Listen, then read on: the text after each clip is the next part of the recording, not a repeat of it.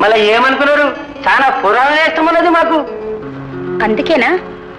మా ఎస్టేట్ మేనేజర్గా. మీరు రికమెండ్ చేశారు.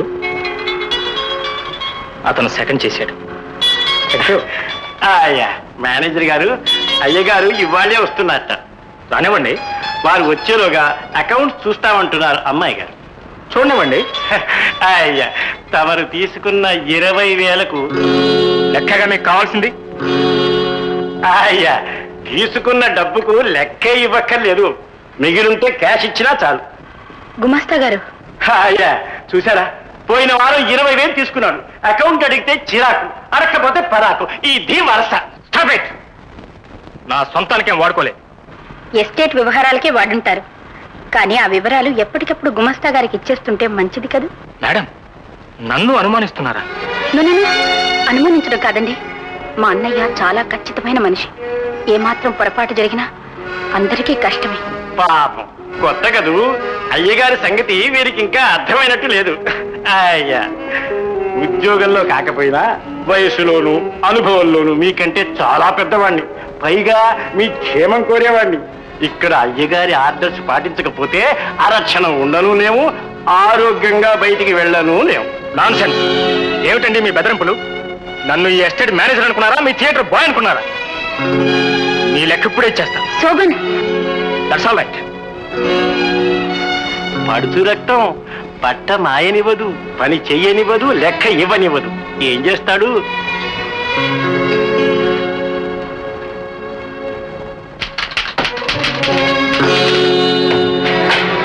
ఏమిటిది? మీ గుమస్తా గారి దగ్గర తీసుకున్న ఇరవై వేలు.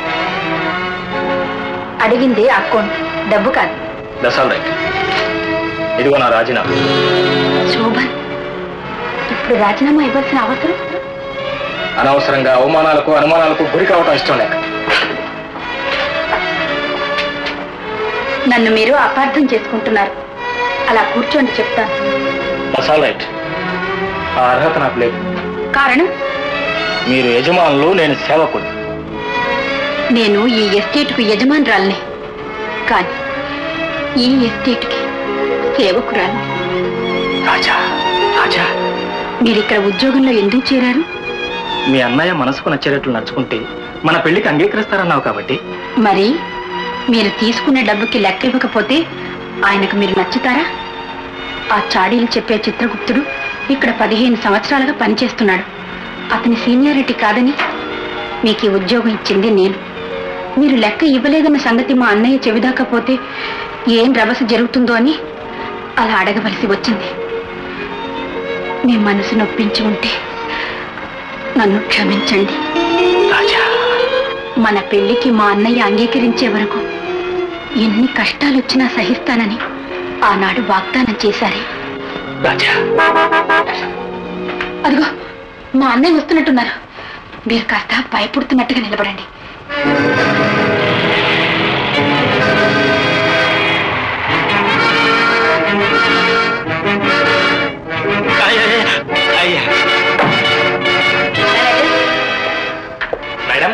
తీసుకున్న డబ్బుకి వెంటనే అకౌంట్ ఇవ్వడం అలవాటు చేసుకోండి. అలాగే రాజా? అన్నయ్య ఇదేనా రావడం అవునమ్మా. ఏమిటి మేనేజర్ దబాయిస్తున్నావు? గుమస్తా గారు వీరి మీద కంప్లైంట్ చేశారన్నయ్య కంప్లీట్? కంప్లైంట్ కాదండి. వీరు పోయిన వారం ఇరవై వేలు తీసుకున్నారు. ఎందుకు? ఊటీలో మన టీ ఎస్టేట్ ప్రక్కన బంగ్లా ఒకటి అమ్మకానికి వచ్చింది. ఆ, చాలా అవసరం. ఎంతకిస్తారేమిటి ఆ, మన అవసరం తెలిస్తే వాళ్ళు రేటు పెంచేస్తారేమని భయపడి సైలెంట్గా చలంగారి పేరిట అడ్వాన్స్ ఇచ్చి అగ్రిమెంట్ చేద్దామని అనుకున్నాను సార్ కానీ ఈ లోపుగానే వీరు అకౌంట్ డబ్బు అని నన్ను కన్ఫ్యూజ్ చేసి పారేశారు సార్ ఆ- ఆ సంగతి నాకు తెలియదండి. నాన్ సెన్స్ తెలియకపోతే మాత్రం అనుమానించడానికైనా అర్థం పర్థం ఉండొద్దు. మేనేజర్ గారు మీ మీద నాకు పూర్తి నమ్మకం ఉంది. ఇక నుంచి మీరు ఏ పని చేసినా మీ నిర్ణయం ప్రకారం చేయండి. థ్యాంక్ యూ సార్ మీరు వెళ్ళి పని చూసుకో. గుమస్తా గారు. మేనేజర్ గారు ఉద్యోగంలో కాకపోయినా వయసులోను అనుభవంలోను చిన్నవాడే. ఒక గంట కనిపెట్టి ఉండండి ఏ ఒడిదుడుకు వచ్చినా నాతో చెప్పండి. మీరు వెళ్ళొచ్చు. అమ్మా రాజా వీడి బుద్ధి మంచిది కాదు. పాత పందికు.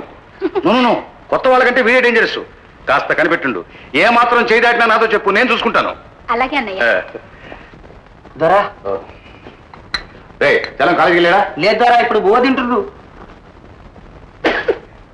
ఈ కాఫీ ఎవరో చేశాడు? నేను చేయలేదు దొరా. ఎవరు చేశారు? ఆ కొత్తగా వచ్చింది వంటది అది చేసింది దొరా. ముందు దాన్ని డిస్మిస్ చేయొచ్చు. అదేం దొరా అమ్మగారు ఆ కొత్త దానికి ఐదు రూపాయలు తనఖా జాదా ఇచ్చిండ్రు? అవు.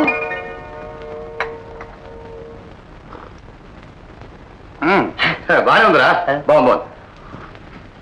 రాజాకి నచ్చిందంటే నాకు నచ్చిందనమాట రా. ఒక్క చెల్లెలకే ఆయన చనివిచ్చేది. అందుకే ఈ అకౌంట్స్ విషయంలో ఎక్కడ మీ మీద బిర్జు పడ్డాడో అని ఆ భారం అమ్మాయి గారి మీద వేశాను. మీకు చెడు చేద్దామని కాదు సుమండి. ఈ రాజారంగారావు గారిని పూర్తిగా అర్థం చేసుకోవడం చాలా కష్టం అండి ఇలా గంగిగోవులా ఉంటారు అలా పెద్ద పిల్ల బిరుసులు తింటారు. ఒక విచిత్రమైన మృగం అంటారు. ఆయా! ఆయా.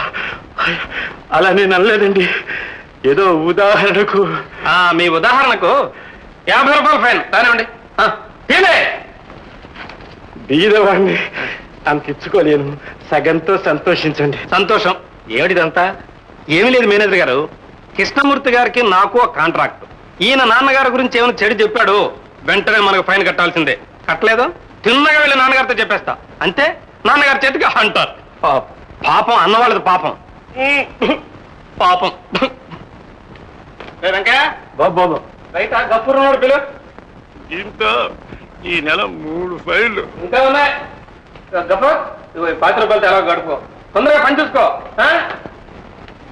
ఎవరతను? మా cinema operator.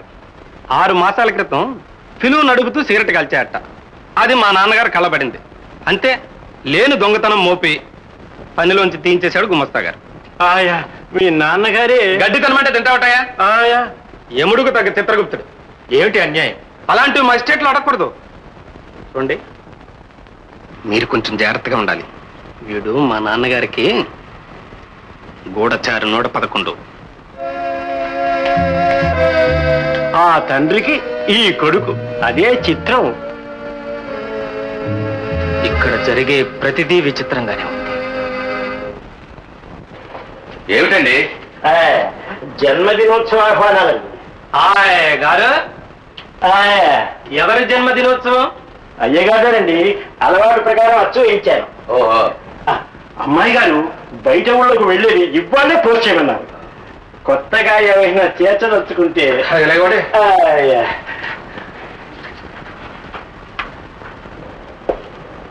Good morning sir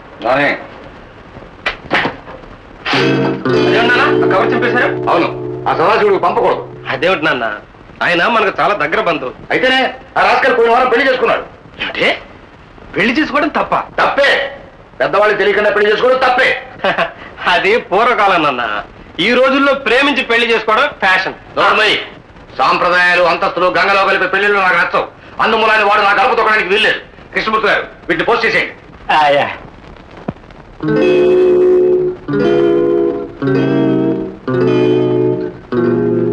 నాన్న సదాశివుడు స్వయాన నీ తమ్ముడు బిడ్డ. ప్రేమించి పెళ్ళి చేసుకోవడమే తప్పనుకుంటే ముందే వాడికి పెళ్ళి చేయలేకపోయావా? ఆ తర్వాత ప్రేమించుండేవాడు. అవునులే. మూలదేవుడు ముస్తెత్తుకుంటుంటే ఉత్సవ విగ్రహాలకు ఊరేగింపులు అన్నట్టు ఇంట్లో ఉన్న మా పెళ్ళిల గురించి నీకు అవసరం లేదు. చలం నీ పెళ్ళికి తొందరే వచ్చింది? ముందు నీ చదువు పూర్తి కాని. సరే నా పెళ్ళికి అంత తొందర లేదు. మరి నీ పెళ్ళు? దాని గురించి ఏమైనా పట్టించుకున్నాడా? ఎంతసేపు రక్షరేఖలా నేను ఇంట్లో పెట్టుకుని కోటికి పడగెత్తాలనే స్వార్థం తప్ప. అదే మీ అమ్మ మా అమ్మ బ్రతుకుంటే ఇంతకాలం నీకు పెళ్ళి చేయకుండా ఉండేవాళ్ళ?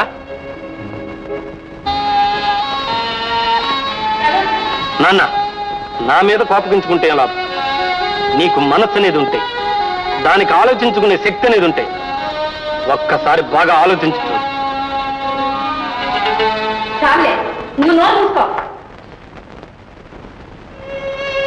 అన్నయ్య ఏమిటిది? చలం ధోరణి మనకు కొత్త. అది పట్టించుకుని బాధపడుతున్నావా? తప్పు తెలిసినప్పుడు బాధపడక తప్పుతుందా రాజా? అన్నయ్య అవునమ్మా. నిన్ను విడిచి ఉండలేననే భయంతోనే నీ పెళ్ళి విషయం నిర్లక్ష్యం చేశాను అన్నయ్య నా పెళ్ళికి తొందరే వచ్చింది. అదేమిటమ్మా? వాడన్నట్టు అమ్మ గాని మీ వదిన గాని బ్రతికుంటే ఇంతకాలం నీకు పెళ్ళి కాకుండా ఉండేదా? ఇంకా ఆలోచించే అమ్మ రాజా మంచి అందగాన్ని బాగా చదువుకున్న వాడిని మన అంతస్తుకు తగిన వాడిని తీసుకొచ్చి నీకు పెళ్ళి చేస్తానమ్మా. అన్నయ్య నాకు పెళ్ళి చేసి పంపించేస్తే